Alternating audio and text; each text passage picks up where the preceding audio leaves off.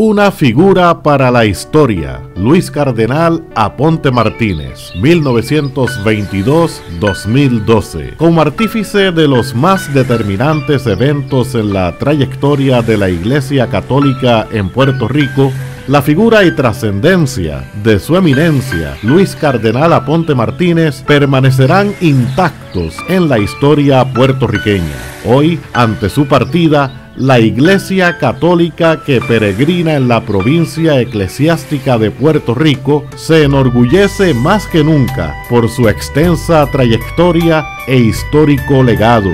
Su apostolado y enseñanzas permanecerán indelebles en la memoria colectiva de su querido pueblo puertorriqueño. Cuando fue ordenado sacerdote, el 10 de abril de 1950, el cardenal Luis Aponte Martínez ni siquiera sospechaba que en su devenir ministerial lograría marcar el desarrollo de todo un país. A tan solo 10 años de su ordenación sacerdotal, el Papa Juan XXIII lo designó como obispo auxiliar de la diócesis de Ponce, convirtiéndose así en el segundo obispo puertorriqueño luego de don Juan Alejo de Arismendi, con lo que se inició además una nueva etapa en la historia eclesial nativa. Más adelante, el 16 de abril de 1963, el Papa Juan XXIII lo nombró obispo coajustor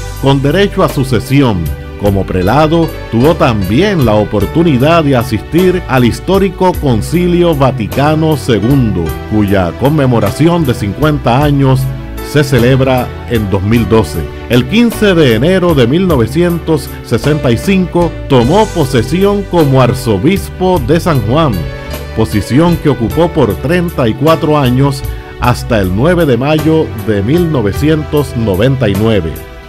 No obstante, el 2 de febrero de 1973 se hizo pública la noticia de su designación como cardenal de la Santa Iglesia, aunque la imposición del capelo cardenalicio en Roma no fue hasta el 5 de marzo de ese mismo año. Tras haber dejado el arzobispado de San Juan, el cardenal Luis Aponte Martínez mantuvo una actividad pastoral muy intensa.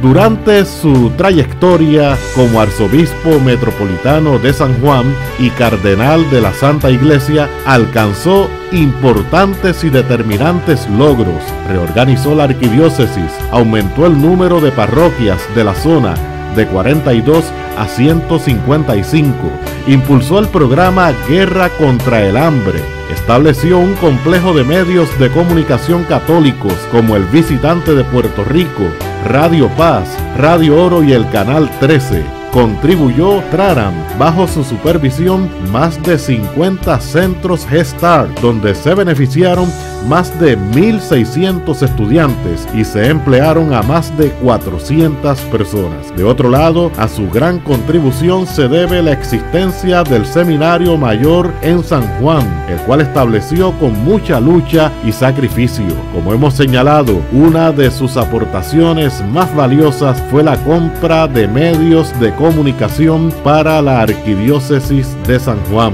Señaló el cardenal en una ocasión, para lanzar el canal al aire, debí contratar personal que pudiera competir con los demás canales que disponían de millones de dólares y personal experto. ¿Cómo se hizo? Pregúntenle a la divina providencia. Solo sé que el 11 de octubre de 1995 se hizo la gran inauguración y no lo dejé un solo centavo de deuda a la en el año 1988 estableció un albergue para pacientes terminales de SIDA llamado Santo Cristo de la Salud, el cual brindó servicios por 14 años. Además, instauró el diaconado permanente de la misma forma en que lo hizo en el Concilio Vaticano II. Desde su fundación hasta el año 1999 se habían ordenado 300 diáconos. Su eminencia Luis Cardenal Aponte Martínez, como hemos señalado y subrayamos, fundó la Conferencia Episcopal Puertorriqueña, organismo que tuvo el reto de atemperar la iglesia local con las normas y estatutos del Concilio Vaticano II y los deseos de la Santa Sede. El cardenal Aponte Martínez presidió la Conferencia Episcopal puertorriqueña desde 1966 hasta 1982. Como parte de sus labores allí, incorporó también el semanario católico El Visitante, Prensa Católica para la Paz. Además, a su gestión se debe que la Virgen de la Providencia sea hoy la patrona principal de toda la nación puertorriqueña y que se iniciara el proyecto de construcción de un santuario en su honor. El cardenal Luis Aponte Martínez también diligenció la visita del Papa Juan Pablo II a la isla en el año 1984, siendo al presente el único pontífice que ha visitado la isla del encanto. Más adelante se encargó de iniciar el proceso de canonización del beato Carlos Manuel Rodríguez. En sus memorias el cardenal señaló lo siguiente, podríamos decir que esa beatificación fue el cierre simbólico con broche de oro de mi ministerio episcopal como arzobispo metropolitano de San Juan. Hoy su eminencia Luis Cardenal Aponte Martínez recibe el abrazo de una iglesia que peregrinó en la fe junto a él por tantos años. El pueblo católico de Puerto Rico celebra la Pascua de este gran hermano, de este gran sacerdote, de este gran obispo y de este gran cardenal, quien ahora se une a la liturgia celestial y se incorpora definitivamente al ministerio del Dios uno y trino. Descanse en paz Luis Cardenal Aponte Martínez.